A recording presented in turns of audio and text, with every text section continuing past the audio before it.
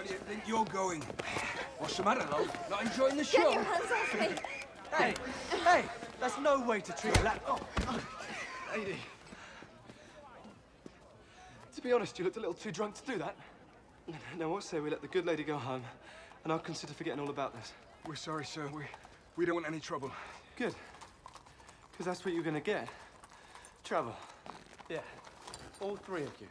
A whole lot of trouble.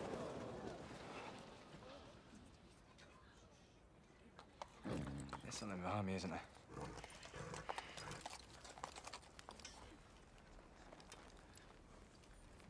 What's your name? Jack? Something wrong with your knees, Jack?